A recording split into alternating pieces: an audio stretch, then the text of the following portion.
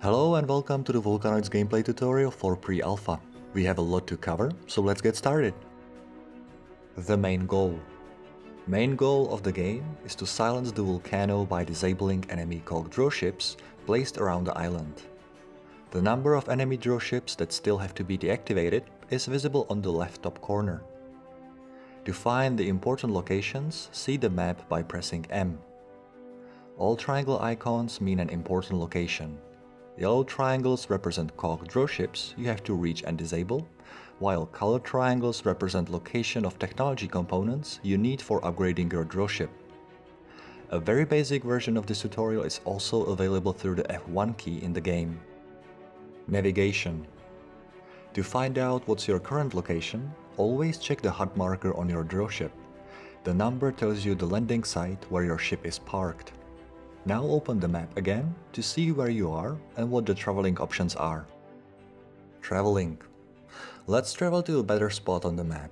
To order the ship to travel to a new landing site, set the number on autopilot, decide if you want to stay underground once reached or go directly to surface and press go. Ship will now pack and be on its way. If you don't want to watch the animations, you can always press escape or disable them in the options. During the travel time, you can walk around the ship, look up inventory and plan your next steps. Traveling limitations. Once you decide to travel into other areas of the island, you'll find out that the drill ship is not able to do so. You have to first upgrade the drill ship and only then drill ship is able to reach landing sites in other areas. Eruption. Drillship's ability to go underground is not used only for traveling. When first earthquake happens and sirens go off, you have to run for your life and hide underground. Volcano erupts in frequent intervals and you have to make sure you are safe from the blast wave when that happens. Otherwise you get hit and the game is over. To hide quickly, just press the save me button as soon as you can. For those that are curious about what is happening on surface, use the periscope. Mining. Let's get some materials so that we can start building and upgrading the drill ship. To equip the mining tool, press 2. Each area has multiple types of materials, some for powering the drill ship, other for production and research purposes. Every material has a location marker that helps player to spot spawn locations. Each time you see a large rock with a color, it means a specific type of ore spawns around. Lava pools on surface and inside caves spawn rare material used for complex devices. So make sure you visit the lava caves each time you run out, rather than trying to find some on the surface of the island. If a village or tech structure is nearby, it often has scrap material or even technology components around it. Production Now that we have the materials, we are going to return to the drill ship. Make sure you have no tool equipped by pressing the tilde key. Cargo. Start with placing all the materials into a cargo module. Then make sure the module is opened and running by clicking on it with left mouse button or pressing the T key. Every open cargo module shares its inventory in so-called online cargo. That means you have access to all items from one place, and don't have to remember where you place the items. This only works as long as the cargo module is opened, if you close it, the items are no longer visible in online cargo and control stations can't use it for production. Crafting Production of base materials, new modules and research always follows the same rules. Every module or control station uses online cargo, and if items are not available they can't produce anything. This means you have to make sure that cargo modules are opened as well while production is running. Modules placed on the side of the ship work as devices doing the job given by control stations. The more modules of a kind, the faster production goes. Also, the more control stations, the more items can be produced in the same time. Each type of production has its own modules and own control stations. Refinery is marked with red color and makes ingots from raw materials. Research is marked with green color and uses technology components to produce upgrades for the drill ship. Production is marked with blue color and makes everything from basic components to new modules. Each time the same rule applies. If you want to do a production, modules of that specific type must be opened. Here is an example. You have production module opened and production station active, while the refinery control station is not working because no refinery module is opened. Drillship stats. When production is active, you have to make sure you have enough energy and that ship core can handle the amount of opened modules.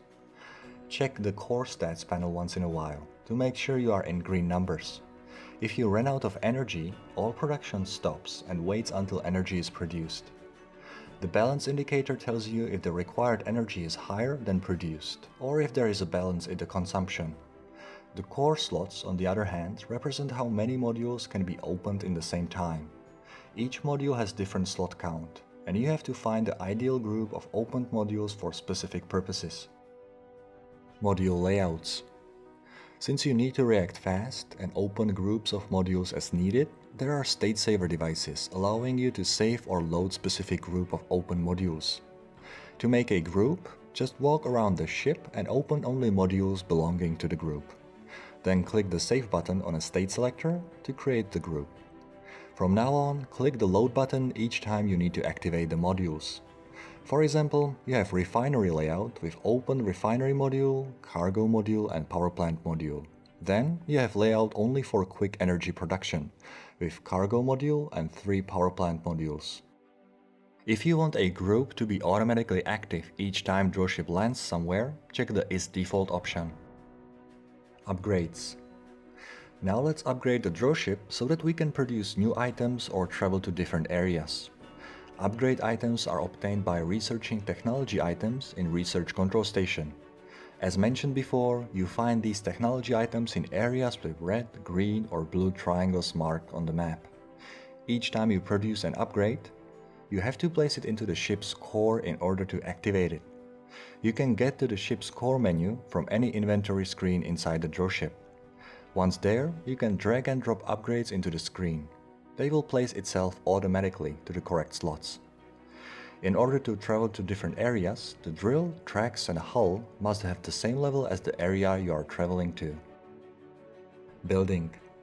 Finally we got to a point where we produce our first module and can place it on the drillship.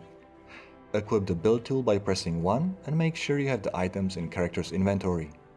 We are going to place the side module which means we have to look at the side wall and keep scrolling the mouse wheel until module shows up.